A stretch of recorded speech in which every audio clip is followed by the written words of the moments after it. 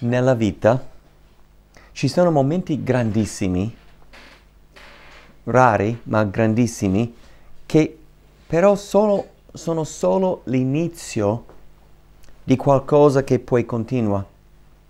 Per esempio, nasce una persona, è un grande avvenimento, grandissimo, eppure è solo l'inizio di una vita.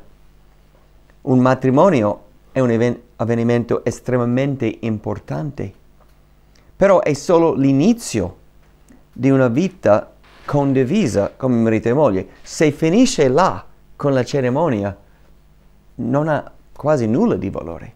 Il valore, certo, è da celebrare quel giorno, ma è l'inizio di una vita. Se poi Dio dovesse dare a quella coppia un figlio o più, certo si celebra la nascita, ma è l'inizio di avere una vita che non finisce fino alla morte e di essere i genitori di quel figlio. Un ruolo che cambia negli anni ma rimane sempre speciale. Quindi è da capire, certo, ci sono avvenimenti grandi, ma sono l'inizio di una vita che si vive, se no l'avvenimento che senso avrebbe. Similmente la salvezza in sé è l'avvenimento più grande della vita e dell'eternità, ma è solo l'inizio di un cammino con Dio. Cioè l'idea di partorire un figlio e lasciarlo in ospedale non avrebbe alcun senso. L'idea di sposarsi e poi ognuno va per conto suo, già quella sera, non avrebbe alcun senso. E nemmeno la salvezza avrebbe senso se non è l'inizio di una vita di camminare con Dio.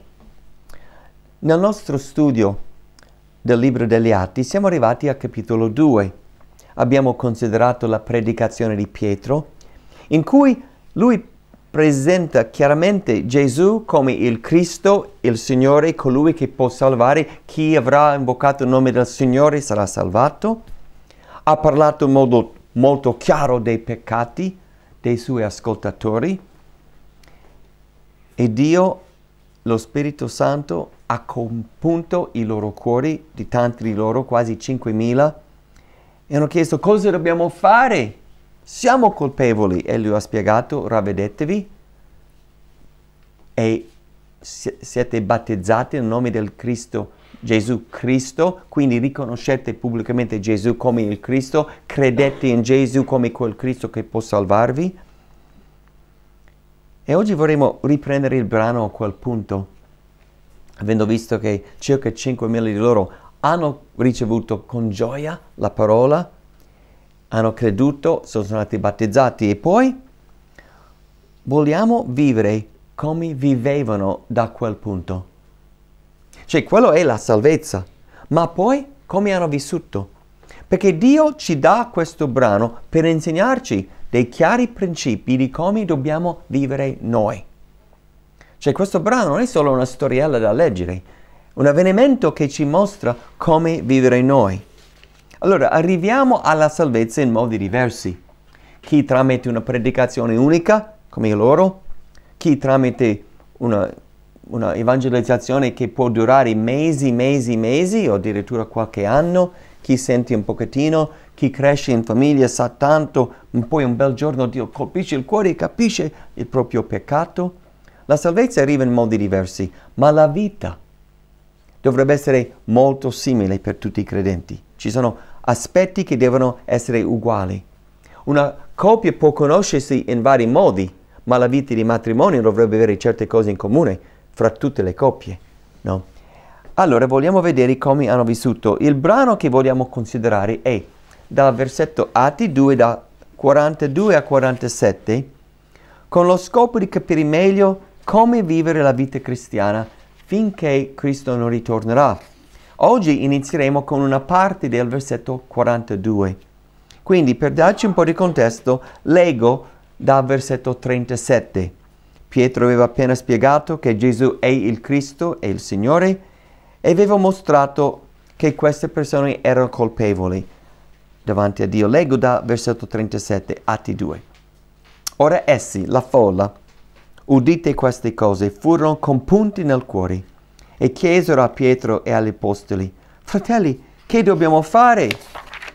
Allora Pietro disse loro, ravvedetevi e ciascuno di voi sia battezzato nel nome di Gesù Cristo per il perdono dei peccati e voi riceverete il dono dello Spirito Santo, poiché la promessa è per voi e per i vostri figli e per tutti coloro che sono lontani, per quanti il Signore nostro ne chiamerà.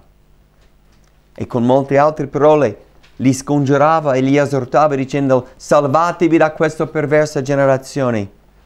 Quelli dunque che ricevettero la sua parola direttamente furono battezzati. In quel giorno furono aggiunte circa 3.000 persone. 3.000 persone. Essi erano perseveranti nel seguire l'insegnamento degli apostoli, nella comunione, nel rompere il pane e nelle preghiere. E mi fermo là. E vogliamo considerare quello che dice di come hanno vissuto dopo la salvezza e vediamo qui in versetto 42. Leggo ancora. Essi erano perseveranti nel seguire l'insegnamento degli apostoli, nella comunione, nel rompere il pane e nelle preghiere. Questo versetto è chiave, è chiave in tutto il libro degli Atti, è chiave nella Bibbia, perché in esso vediamo un frutto della vera salvezza. Quando Dio salva una persona, Lui dà a quella persona un nuovo cuore. Lo fa entrare nel corpo di Cristo. E quel cuore nuovo produce una nuova vita che viene descritta in questo versetto. Ed è la vita che anche noi dovremo avere. Notate che queste persone erano perseveranti in quattro cose. Seguire l'insegnamento degli apostoli, nella comunione, nel rompere il pane e nelle preghiere. E vedremo il primo di questi oggi. Ma prima voglio considerare quella parola, erano perseveranti. Erano perseveranti. La vera salvezza produce un cambiamento di cuore che produce come frutto la perseveranza. La perseveranza non è facoltativa. La, la perseveranza fa parte della vera salvezza. Infatti è un modo per riconoscere se una persona è veramente salvata o no. Nella parabola dei quattro tipi di terreni c'è la, il seme che cade sulla roccia, che spunta su con grande gioia ma non c'è radice e non dura. La perseveranza è un frutto della vera salvezza. In Matteo 24 Gesù dichiara, chi avrà perse- perseverato fino alla fine sarà salvato. In Luca 21 Gesù dice, nella vostra perseveranza guadagnerete le anime vostre. Allora, non sta dicendo che siamo salvati per opere nostre, ma la vera salvezza produce perseveranza. In Colossesi 1 Paolo sta parlando di come Dio ci ha riconciliati nel corpo della carne di Gesù e notate che la salvezza si vede perché c'è perseveranza. Vi leggo capitolo Colossesi 1, 22 a 24. Ora Dio vi ha riconciliati nel corpo della sua carne, quello di Cristo, mediante la morte per farvi comparire davanti a sé santi, irreprensibili e senza colpa, se pure perseverate nella fede, essendo fondati e fermi senza essere smossi dalla speranza dell'Evangelo che voi avete udito e che è stato predicato ad ogni creatura che è sotto il cielo e il cui io Paolo sono diventato ministro. Quindi siete salvati se pure perseverate nella fede. La perseveranza non è facoltativa. Uno che dice di essere salvato e poi non persevera, si riconosce che non è mai stato salvato. Grazie a Dio ci sono casi dove uno si vede che non è perseverante, ma poi ritorna. E può essere una stagione, ma è una stagione in cui frutto di salvezza non c'è. Pace di essere salvato non c'è. Dio solo sa. Quindi la perseveranza è fondamentale. Quindi la salvezza non è un atto storico, ma no, io mi sono salvato sei anni fa, ma adesso guarda come vivi. Sì, però sono salvato. No, se tu pensi così, non sei salvato. Non sei stato salvato sei anni fa. La salvezza non è un contratto che tu firmi, metti in tasca e poi vivi come vuoi. La salvezza è quando Dio ti dà un nuovo cuore. Ti strappa dalle tenebre, metti, ti metti nella luce. Cadiamo, sì, ma c'è una differenza fra cadere e camminare nelle tenebre. Nel vero, nella vera salvezza si entra in un rapporto vivente con Dio per mezzo di Cristo, un rapporto in cui si guarda Cristo come mi, chi mi salva giorno per giorno. E questo rapporto cambia la vita, avrà frutti che vediamo in questi credenti. Visto che chi riceve la salvezza riceve un nuovo cuore, è anche giusto e naturale che un vero credente di essere perseveranti nel cammino cristiano giorno per giorno, compreso quello che vediamo in questo versetto. E perciò vogliamo considerare questi quattro aspetti in cui erano perseveranti per vedere se noi abbiamo da crescere. Prima consideriamo che erano perseveranti nel um, seguire l'insegnamento degli apostoli. Allora, perseveranti cosa vuol dire? Che uno continua. Che certo ho momenti dove vengo un po' smosso, ma riprendo. Cioè, guardando la vita, tu vedi la persona lì, la vedi là, la vedi là. La grande maggioranza dei genitori con bambini piccoli sono perseveranti nel dare da mangiare ai piccoli. Sono perseveranti a cambiare i panolini è molto rara la mamma, grazie a Dio è rara, purtroppo esiste, la mamma che proprio lascia il suo figlio piangere e non gli dà da mangiare. Di solito la mamma è perseverante, cambia, cura. Non sempre che mentre crescono i genitori restano perseveranti, perché a livello fisico provvedere il cibo è un discorso, provvedere la guida, lì ci sono più mancanze. Però è naturale che un genitore sia perseverante nel provvedere quello che serve al figlio. Allora questi credenti erano perseveranti nel seguire l'insegnamento degli apostoli. Prima di tutto, cosa vuol dire? Vuol dire che avevano un impegno costante ad ascoltare gli insegnamenti degli apostoli. E questo richiedeva tempo e impegno. Erano persone come noi. Avevano i loro lavori, avevano le loro famiglie, avevano i loro impegni, ma prendevano tempo in mezzo agli studi, ai lavori, agli impegni, prendevano tempo di ascoltare assiduamente gli insegnamenti degli apostoli. Dovevano per fare questo andare, non avevano internet, dovevano alzarsi e andare dove c'erano gli apostoli quel giorno per stare presente fisicamente per ascoltare quello che avevano da dire, l'insegnamento. E per fare questo dovevano tra- trascurare, lasciare altre cose. Non potevano fare tutto quello che facevano prima. Cioè, la loro vita, possiamo essere sicuri, prima della salvezza avevano una vita piena. È normale, abbiamo tutti una vita piena. Avevano la vita piena dalla mattina alla sera e dovevano trovare tempo, e bra- alcuni brani parlano di tutti i giorni, ad andare ad ascoltare gli apostoli. Quindi il tempo da dove veniva? Quando Dio salva una persona, non fa che quella persona cominci ad avere 29 ore al giorno. Rimangono solo 24. Allora per avere tempo dovevano lasciare stare qualcos'altro che prima ritenevano importante abbastanza da fare. E queste persone erano persa- perseveranti ad ascoltare. Poi vogliamo notare che erano perseveranti a seguire gli insegnamenti degli apostoli. Questo seguire è molto importante. Non era solo di imparare, ah mi piace dottrina, mi piace studiare, eh ma guarda la tua vita, eh ma sì, no, erano perseveranti ad ascoltare per vivere quello che sentivano, seguivano l'insegnamento. C'è molto più che solo ascoltare, questo è mettere in pratica. Pensate alla dottrina degli apostoli. Ricordate che gli apostoli avevano imparato la loro dottrina da Cristo stesso e poi lo Spirito Santo è stato mandato loro per ricordare a loro tutto quello che Gesù aveva detto loro e anche insegnare cose che prima non erano pronti. Quindi il loro insegnamento non era un loro interpretazione, non era un loro pensiero, era l'insegnamento di Gesù Cristo, di Dio, dato loro per mezzo dello Spirito Santo. Molto avevano sentito dalla bocca di Gesù. Questi nuovi credenti erano perseveranti nel seguire questo insegnamento.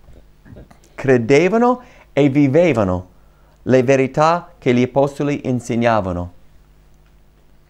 Ricordate che Gesù aveva comandato ai discepoli in quello che noi chiamiamo, chiamiamo il grande mandato in Matteo 28, non solo di fare i discepoli, spiegare l'Evangelo che Pietro aveva fatto e poi battezzarli, ma poi, vi leggo le sue parole, comanda insegnando loro di osservare tutte le cose che vi ho comandato.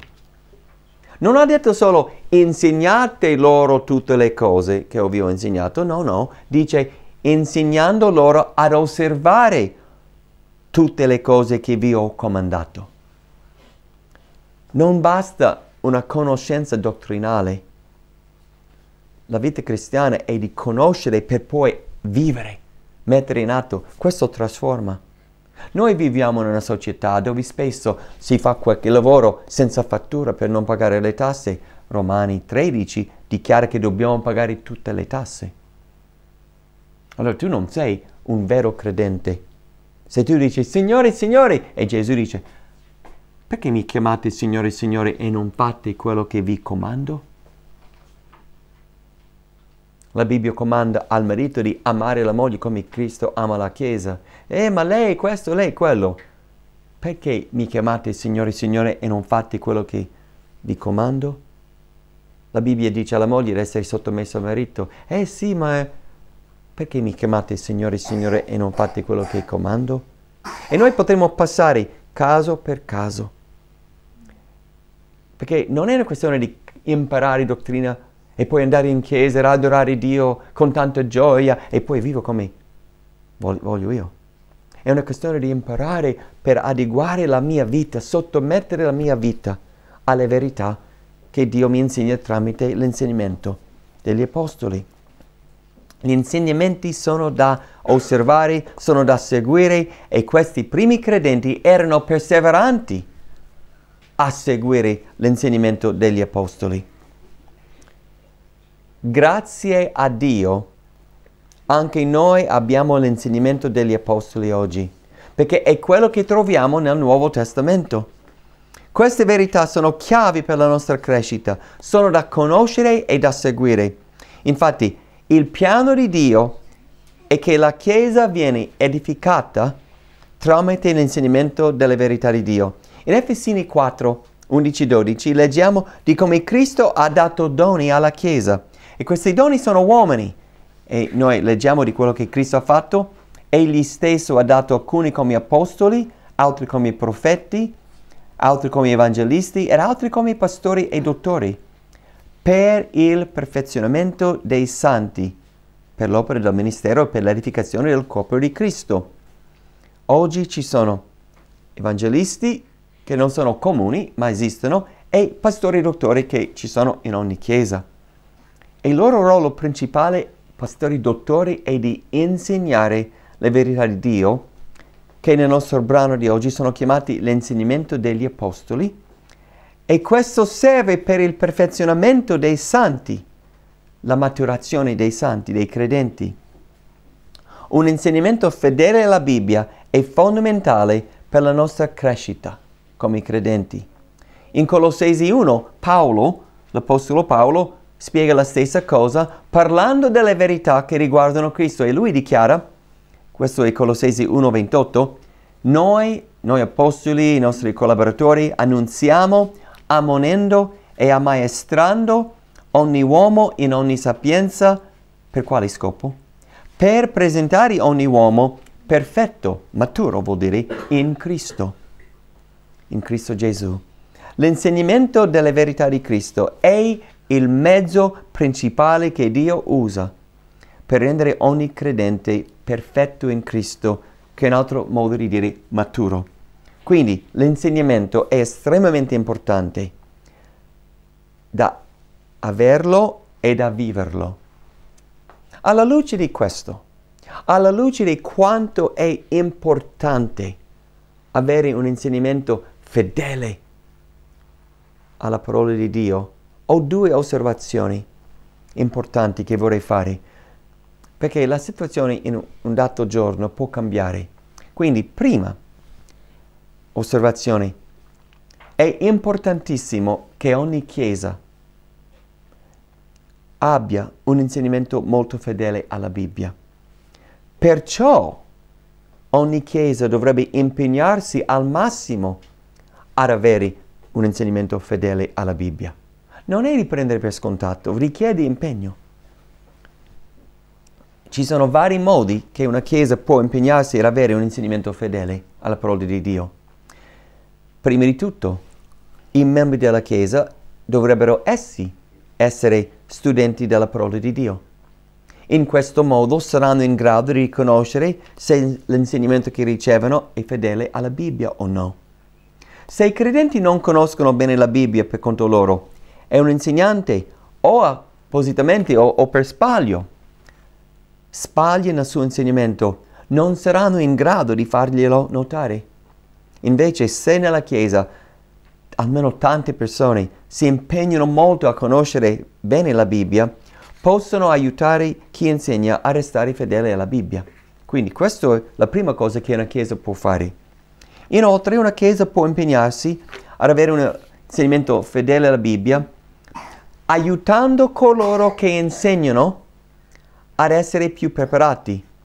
E ci sono più modi che la Chiesa può fare questo in, a livello pratico. Per esempio una Chiesa può provvedere un fondo per comprare buoni libri per coloro che insegnano. Questo è un investimento che può provvedere benefici per tutta la Chiesa. Inoltre una Chiesa può cercare di provvedere tempo per chi insegna, in modo che quell'uomo, quegli uomini possano dedicarsi di più allo studio e all'insegnamento. Ci sono tanti modi che una Chiesa può provvedere tempo per qualcuno. Per esempio, se quegli uomini fanno certi uh, ministeri che riguardano aiuti. Altri che non hanno il dono di insegnamento ma hanno il dono di aiuto possono dire, senti, senti tu, passi più tempo e faccio io quello. Stiamo imbiancando la sala, stiamo facendo questo, stiamo facendo quello. Ci penso io, ci penso io, ci penso io, liberando. Ci sono, se ci sono conferenze con buoni oratori che sono veramente fedeli alla Bibbia, la Chiesa potrebbe pagare le spese per mandare coloro che insegnano in modo che vengano edificati, sentono buoni insegnamenti che possono influenzare ed edificare loro, aiutando loro ad insegnare meglio negli anni.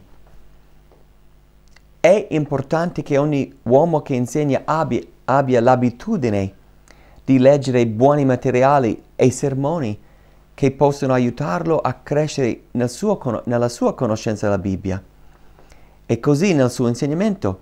Infatti, un modo utile per coloro che insegnano di crescere nel loro insegnamento è per loro di leggere gli insegnamenti di uomini di fedeli che li hanno preceduto. Io trovo grande beneficio negli anni leggendo sermoni di altri o ascoltando ormai che mi edificano per me e mi, mi fanno capire come posso io spiegare meglio la Bibbia. Quindi questa è una cosa da promuovere e per quanto è possibile, anche se è un sacrificio, un in investimento di grande valore, e che una Chiesa dovrebbe cercare di provvedere di avere un pastore che può dedicarsi tempo pieno nel ministero, in modo che egli può concentrare molto di più sull'insegnamento e la preghiera. C'è poco che può aiutare una Chiesa più che avere un uomo timorato di Dio che ha il dono di insegnare che può dedicarsi all'insegnamento. Ved vedremo in Atti 6, quando ci arriveremo, che gli apostoli hanno capito l'importanza di liberarsi da altri impegni per poter dedicarsi alla preghiera e all'insegnamento, alla parola. Quindi, tornando al mio punto, è importantissimo che ogni Chiesa abbia un insegnamento fedele alla Bibbia. E perciò ogni chiesa dovrebbe impegnarsi. È una delle cose che non ho detto. E questo è grave. Che non ho detto è grave. Perché fondamentale quale sarebbe? che non ho detto, una cosa fondamentale. Pregare, pregare, pregare per coloro che insegnano. Pregare per coloro che insegnano, per il loro cammino. Vale ben poco che uno è bravo, per modo di dire, ad insegnare se non cammina in santità. Pregate per il loro impegno, per il loro cammino, per il loro matrimonio, per il loro ruolo come genitori. Pregate per loro anche di amare Cristo, di vedere, essere meravigliati da quello che loro studiano. Quindi è importantissimo che ogni credente sia perseverante ad ascoltare e credere e vivere il buon insegnamento che riceve e così la Chiesa dovrebbe impegnarsi ad avere il buon insegnamento e la Chiesa può fare tanto per promuovere questo. Questo è importante. Quindi il mio primo punto è che ogni Chiesa dovrebbe impegnarsi ad avere un buon insegnamento fedele alla parola.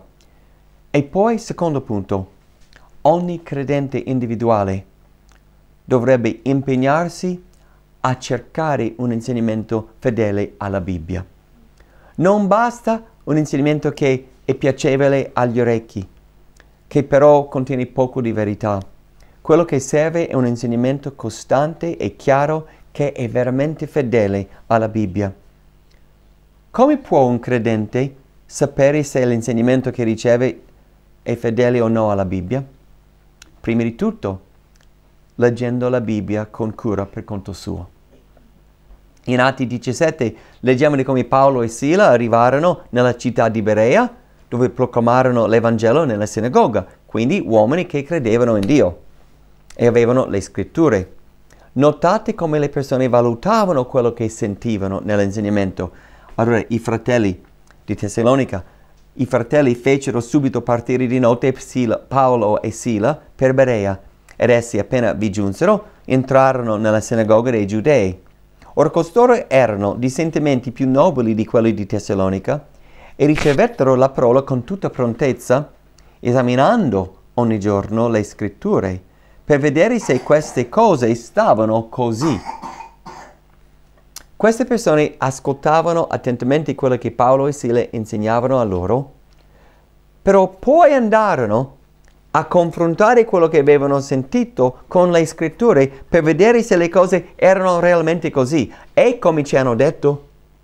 Andiamo a vedere quanta differenza farebbe nelle chiese nella nostra nazione e nel mondo se più credenti fossero così. Questo modo di fare sarebbe un immenso stimolo per chi insegna a stare molto attento a quello che insegna. Questo sarebbe una protezione grande per la Chiesa. Chiaramente serve verificare non solo gli insegnamenti che si riceve in Chiesa, ma quasi di più serve verificare gli insegnamenti che si possono trovare in libri, riviste e ormai diffuso in internet. Infatti tristemente oggi si, ci sono tantissimi insegnamenti diffusi in libri da case editrici evangelici o in internet che in realtà non sono fedeli alla Bibbia. Ci sono libri che sono pieni di eresia.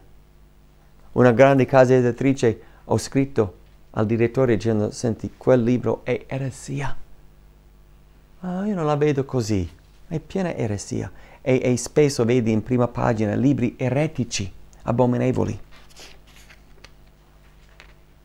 mio cuore è molto rattristato ogni volta che leggo cataloghi di, dei vari li, eh, case editrici che pubblicano libri e vendono libri di vari edi- editori perché vedo prima che hanno libri che fra di loro si contraddicono completamente, che già capisce che qualcosa non va.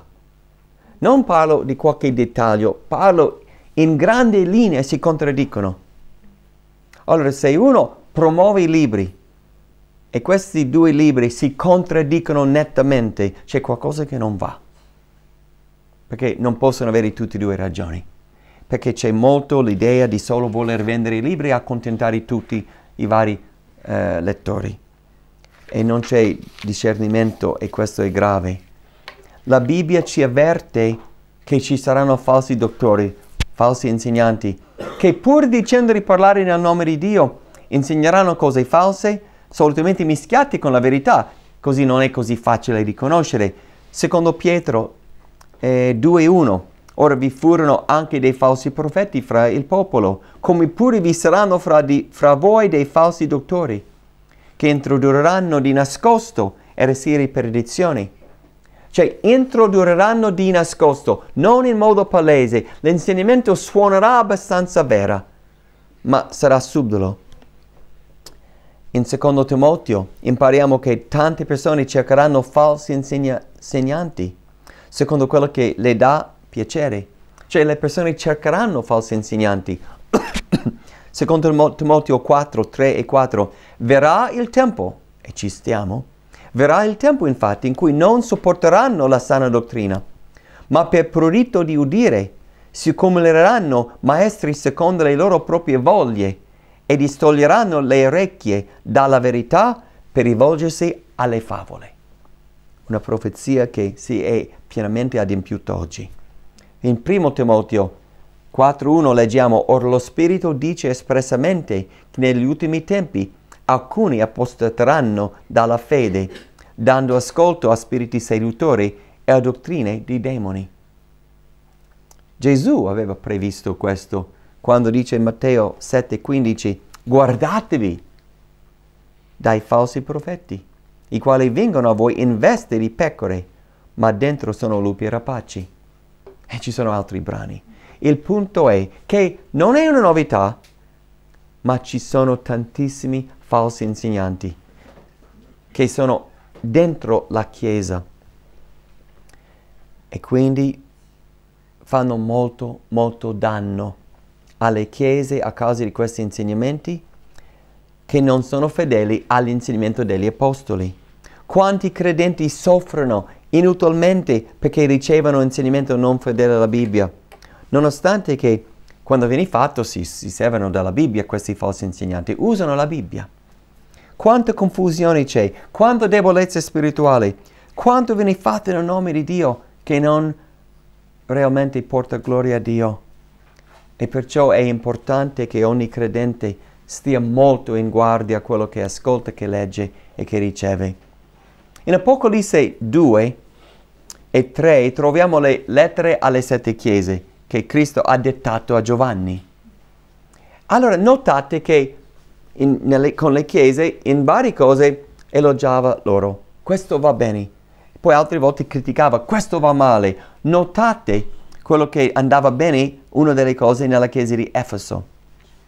E lui dice, io conosco le tue opere. Quando dice conosco è una cosa buona la tua fatica, la tua costanza, che non puoi sopportare i malvagi e hai messo alla prova coloro che si dicono apostoli e non lo sono e li hai trovato bugiardi. Cioè, sono fiero di voi che quando questi uomini insegnando cose sono venuti, anziché dire, oh bene, ascolta, vogliamo ascoltarvi, no, avete messo alla prova, confrontando con la scrittura e avete scoperto che non erano veri apostoli. E questo è buono, dice Gesù. Poi nella lettera alla chiesa di Pergamo Gesù critica loro perché non avevano controllato l'insegnamento e permettevano l'insegnamento falso. E lui dice, ho alcune cose contro di te. Tu hai colà alcuni che ritengono la dottrina di Balaam, i quali insegnò a Balak a porre un insidio davanti ai figli di Israele per farli cadere inducendoli a mangiare cose sacrificate agli idoli e a fornicare. Così hai pure alcuni che ritengono la dottrina dei Nicolaiti, sono, la quale cosa io odio. Ravvediti dunque, altrimenti verrò presto da te e combatterò contro loro con la spada della mia bocca. Cioè Gesù critica quelle, quella chiesa Pergamo perché avevano insegnamento falso in mezzo a loro. Non avevano controllato l'insegnamento e questo è molto grave. Quindi la protezione più grande per una chiesa quando ha anziani che sono fedeli e veramente qualificati è che sono gli anziani che proteggono la chiesa il loro ruolo principale è quello, proteggere la chiesa da falso insegnamento.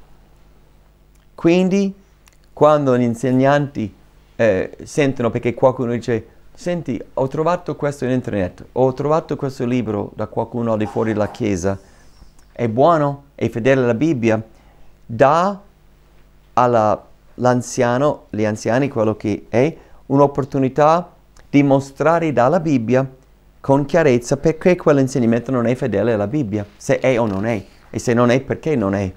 E facendo così, gli anziani sono stimolati a mostrare dalla Bibbia perché un insegnamento non sia fedele.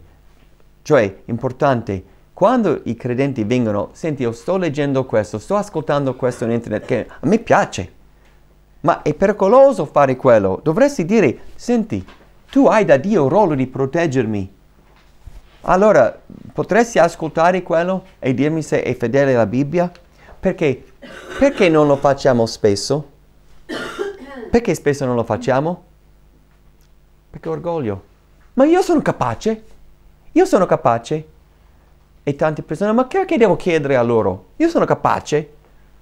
Io nella mia vita ho conosciuto tanti credenti che uno direbbero, direbbe maturi, che sono caduti in false dottrine, perché loro si ritenevano più che pronti a poter valutare per conto loro e man mano sono stati sfiati e hanno fatto un naufragio per questo. Dio ha dato gli anziani per uno scopo, di proteggere. Una volta non c'erano libri stampati, non c'era internet, quindi un insegnante era una persona con carne e sangue che veniva nella città.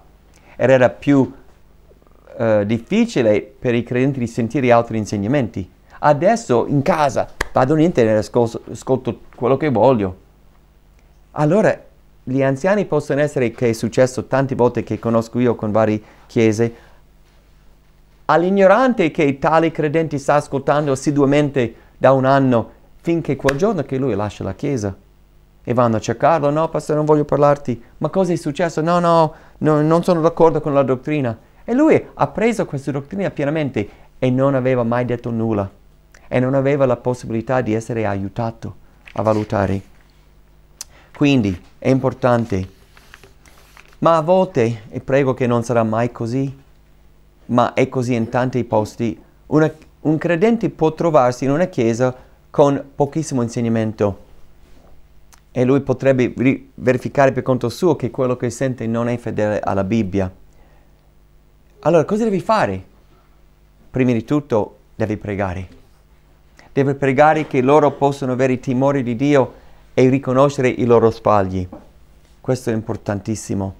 Se non ci sono miglioramenti, dovrebbe andare da loro, cercare di spiegare, forse è un errore onesto, ma se non ci sono miglioramenti, dovrebbe cercare insegnamento altrove. Allora, non sto parlando di una cosa veramente piccola, ogni dottrina è importante, ma ci sono le cose fondamentali. E, e, però se lui, che non è un anziano, deve cercare insegnamento altrove, deve fare con grande cautela perché potrebbe facilmente trovarsi peggio di quello che ha adesso. Perché c'è molto che non è fedele a Dio nei libri, nell'internet, eccetera. Dovrebbe pregare molto e avere grande impegno. Dovrebbe cercare un insegnamento che è chiaramente fondato sulla Bibbia e non solo su argomenti che filano bene. Soprattutto dovrebbe ricordare, e questo è importante, per chi si trova isolato.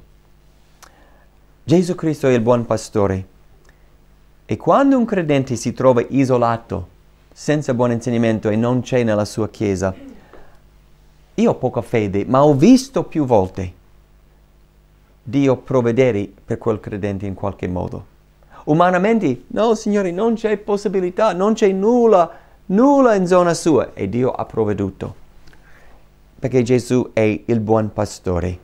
Quindi uno non deve essere disperato, deve pregare con fede e studiare per conto suo quanto può e Dio provvederà.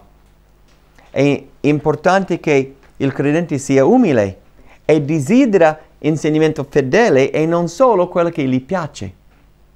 Quando un credente è così, cioè umile e prega con perseveranza, Dio provvederà in qualche modo. Sono stato meravigliato più volte vedendo come Dio ha curato credenti in situazioni che per me erano impossibili perché nulla è impossibile per Dio. Quando un credente è affamato per la parola di Dio, quando vuole comprendere la verità per metterlo in pratica, Dio lo curerà. Vogliamo ricordare che quello che abbiamo visto dei primi credenti, che non solo ascoltavano, ma erano perseveranti a seguire l'insegnamento degli apostoli. Lo scopo dell'insegnamento non è mai di solo farti avere più conoscenza, è di farti vivere nella verità che conosci. La Bibbia serve come guida di vita, non come materiale per superare un esame. A proposito, Gesù dichiara in Giovanni 7:17, se qualcuno vuole fare la volontà di Dio, la sua volontà, conoscerà se questa dottrina viene da Dio oppure se io parlo da me stesso. Avete notato? Il modo di conoscere la verità è di voler fare la volontà di Dio. Se a te piace imparare, ma poco ti piace camminare, Dio non ti guiderà a conoscere di più. Lui ti fa capire quando tu vuoi fare la volontà. La chiave per crescere nella conoscenza della parola di Dio e la verità di Dio è di voler fare la sua volontà. Se uno vuole fare la volontà, Dio provvederà per quella persona verità in modo che può fare la volontà di Dio.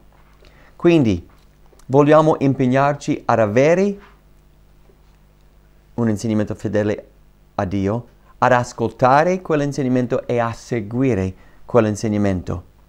Dobbiamo pregare che Dio ci conceda di avere questo sempre. Se oggi abbiamo la possibilità di avere un insegnamento perché c'è un pastore di tempo pieno, eccetera, non è detto che sarà così domani. Non è detto. Perciò dobbiamo pregare per coloro che ci insegnano che possono essere fedeli alla parola di Dio e che possono camminare in santità. E dobbiamo impegnarci, ogni chiesa dovrebbe impegnarsi, un'altra cosa, a preparare nuovi insegnanti, in modo quando coloro che ci sono attualmente non ci sono più, che ci saranno quelli che sono già stati preparati. E questo potrebbe essere, come avevo detto prima, per chi già insegna, dando materiali buoni, mandando conferenze, facendo corsi per loro, vari modi. Vedendo, ci servono altri insegnanti, ci serviranno sicuramente. Allora, questo è quello che mi colpisce in questo brano. Come vivevano questi nuovi credenti? Chiaramente guidati dallo Spirito Santo, erano perseveranti nel seguire l'insegnamento degli apostoli. Avevano un impegno a non mancare gli incontri della Chiesa. Ebrei 10, 25 ci comanda di non mancare le nostre comuni radunanze. E la Chiesa è estremamente importante perché è lì che Dio dà l'insegnamento che edifica i credenti. Poi essere costanti, perseveranti nel seguire l'insegnamento vuol dire leggere la Bibbia per conto proprio tutti i giorni, perché in essa troviamo le verità che ci servono, non solo per conoscerle, ma per camminare in quelle verità. Seguiamo questo esempio dei primi credenti a Gerusalemme, perseveriamo nel seguire l'insegnamento degli apostoli. Quanto è importante che riceviamo un insegnamento fedele alla Bibbia. Se noi non conosciamo le verità di Dio, non possiamo seguire Dio, anche se vogliamo, perché non sapremo qual è la via. Cioè, avremo buona volontà, ma non sapremo come seguire Dio. E per questo è essenziale conoscere le verità di Dio e io ringrazio Dio che ha dato pastori, dottori, tanti che mi hanno edificato tanto negli anni e continuo a farlo, che ha dato alla Chiesa lo Spirito Santo, che Lui dà il dono di insegnare, ha dato alla Chiesa chiaramente la Bibbia che abbiamo e provvede tutto che, quello che serve di poter conoscere e seguire le sue verità. Allo stesso tempo ricordiamo che ci sono falsi insegnanti e spesso è una cosa, come diceva, in modo nascosto. Cioè non è che tutto quello che dicono è falso, tutti crederebbero, riconoscerebbero subito quello. No, può apparire molto vicino alla verità. E quindi è importantissimo che analizziamo attentamente perché falsi insegnanti ci sono, alcune volte sono uomini sinceri che non sono attenti e purtroppo anni fa facevo io quello. Oppure possono essere uomini che proprio vogliono promuovere questa o quell'altra dottrina. E solo perché una casa editrice è evangelica non vuol dire nulla. Ho visto cose abominevoli che non dovevano mai essere stampate, vendute in prima pagina. È infatti una cosa più comune. Internet, quanto bisogna stare attento in internet perché trovi di tutto lì, molto più di falso che di vero, perché è un posto dove chiunque può pubblicare a zero spesa. Allora non è di solo andare a navigare trovando quello che uno trova, quello è stoltezza. Quello è stoltezza.